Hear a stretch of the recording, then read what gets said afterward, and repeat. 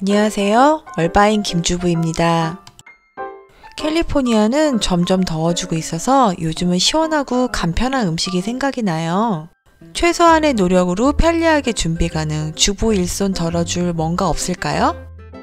이번 영상은 요리하기 쉽고 간편, 영양은 덤으로 얻을 수 있는 이것, 얼려 먹으면 영양소가 더 많아져 건강해지는 냉동식품을 소개할게요.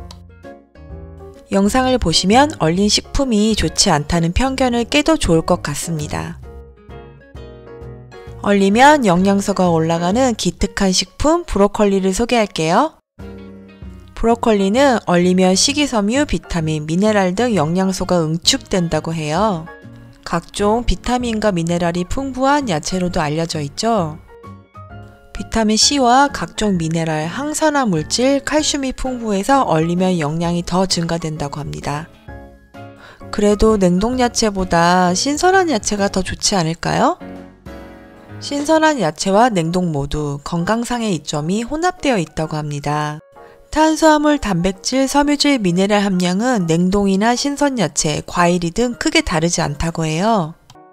수확 후 채소를 바로 먹으면 영양상 좋지만 유통 과정을 거친 뒤 소비자의 식탁에 오를 때는 영양소 손실이 있습니다.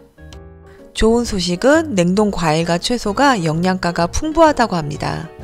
냉동식품은 수확 후 바로 급속 냉동, 영양 성분도 응축된다는 장점.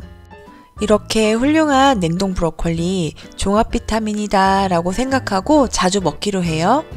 유기농 브로콜리가 잘 손질되어 한 팩씩 개별로 포장되어 있어요. 원파운드로 포장된 4개가 들어있고요. 역시 양은 코스코가 최고네요. 외식이 여의치 않은 요즘에 정말 딱인 것 같아요. 요리하기 간단하고 편리하고 영양도 있고요. 보존제 없고 비타민C의 좋은 공급원인 기특한 채소입니다. 유럽연합 유기농 인증을 받은 에콰도르에서 온 브로콜리입니다. 에콰도르 브로콜리는 미국으로 연간 7만 5천 톤을 수출한다고 합니다. 5개 정도의 브로콜리에는 식이섬유와 단백질보다 비타민C가 가장 많이 들어있네요. 제품에 설명된 조리법을 보니 전자레인지에 봉지를 넣고 뜯거나 구멍을 내지 말고 4분에서 5분 정도 조리하라고 되어 있습니다. 전자레인지 요리는 빠르고 쉽지만 음식에 안전할까요? 일부 영양소는 전자레인지나 일반 오븐 등 열에 노출되면 분해되고 비타민 C는 가장 명확한 예로 손실될 수 있습니다. 그러나 전자레인지 요리 시간이 더 짧기 때문에 가열 시 분해되는 비타민C와 기타 영양소를 더 잘 보존할 수 있습니다. 전자레인지는 건강에 좋지 않나요? 영양소를 잘 유지하는 조리법은 빨리 조리하고 음식을 짧은 시간에 데우고 가능한 적은 양의 물을 사용하는 방법인데 전자레인지는 이런 기준을 충족합니다. 적은 양의 물을 사용, 음식을 안쪽에서 바깥쪽으로 익혀주고요. 다른 조리 방법보다 더 많은 비타민과 미네랄을 함유. 실제로 전자레인지 음식이 건강할 수 있습니다. 전자레인지가 주는 공학의 편리함을 적절히 잘 이용하면 좋을 것 같아요.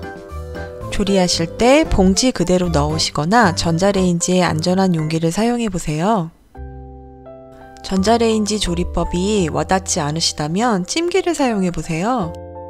물에 데치지 마시고 찜기에 쪄보세요. 핵심 성분 영양소가 90%가 유지됩니다. 이제 간단하고 영양 가득, 맛도 좋은 브로콜리 활용법을 소개할게요. 응용 메뉴로 가장 강추하고 싶은 건 바로 스프입니다. 만들기 복잡하지 않은 오븐 조리법 지금 공개합니다. 먼저 찜기에 브로콜리와 감자, 양파를 쪄줍니다. 브로콜리는 1분 후에 먼저 빼놓고 감자와 양파는 5분에서 10분 더 익혀줍니다. 감자는 비타민C가 많고 열로 가열해도 손실이 적은 신박한 채소입니다. 야채는 식힌 후에 모든 재료를 블렌더에 넣어 갈아주면 완성입니다. 정말 간단하죠? 맛도 찐하고 감자가 포만감과 고소함을 더해줘요. 차갑게 또는 따뜻하게 먹어도 맛이 있고 속이 편하고 든든해서 강추합니다. 브로콜리는 어떻게 드세요? 초고추장 말고 너트 소스와 함께 드세요. 캐슈넛을 반컵 정도 블렌더에 천천히 갈아주세요. 겨자와 올리브 오일이나 참기름, 꿀, 소금, 후추를 넣어주세요. 브로콜리는 지방 또는 겨자와 함께 먹으면 흡수가 더 잘 된다고 해요. 브로콜리와 찰떡궁합입니다. 페타치즈와 함께 샐러드로 만들어 보세요. 간단하고 영양도 있고 포만감도 최고예요. 브로콜리는 미네랄과 비타민이 풍부해서 최고의 천연 영양제입니다.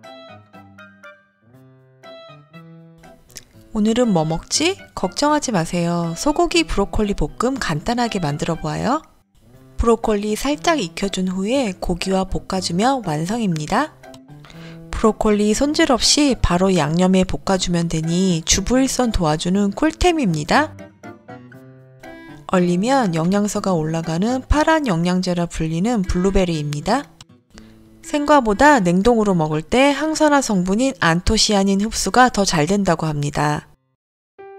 각종 영양소가 풍부해 천연 비타민으로 알려져 있죠. 농약 걱정이 없는 유기농으로 꼭 구입하세요. 미국에서 수확한 블루베리이고요. 비영리 유기농 인증 기관인 Oregon Tilth OTCO 인증을 받은 블루베리입니다.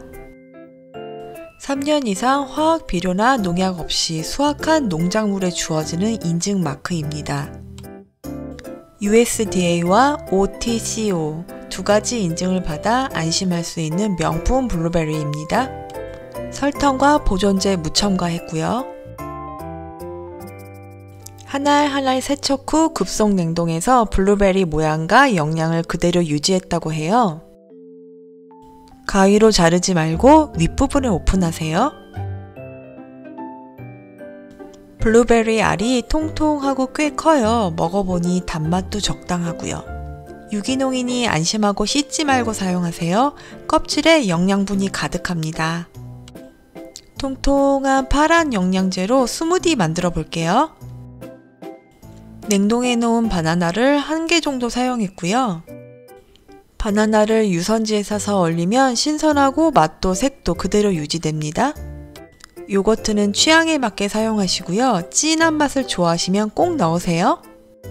저는 아몬드 밀크를 사용했고요. 좋아하시는 우유 넣으시면 됩니다. 저는 꿀도 추가해 주었어요. 점점 더워지는 요즘 딱 필요하고 스낵으로 활용도 높아 강추해요. 외출할 때 가지고 나가서 마시기에도 좋아요. 얼려서 아이들 간식으로 만들어 보세요. 건강하고 맛도 최고예요. 건강한 찐 스낵 집에서 꼭 만들어 보세요. 맛도 좋고 영양은 말할 것도 없는 리얼 스낵입니다. 카페 안 부러운 비주얼의 블루베리 우유 만들어 볼게요. 블루베리 반컵, 대체당, 우유 이렇게 준비해 주시면 됩니다.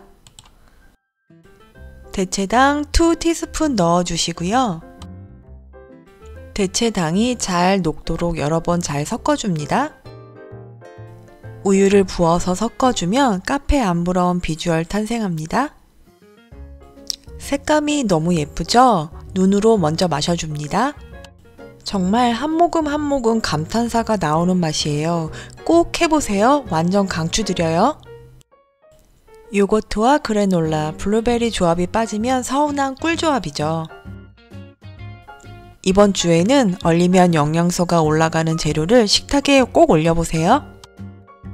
얼려 먹으면 좋은 재료는 방울토마토, 아보카도, 팽이버섯, 바나나, 두부, 딸기, 양파, 체리를 한번 응용해 보세요. 가정의 달 5월 가족들과 좋은 시간 보내시고요. 한 주도 건강하세요.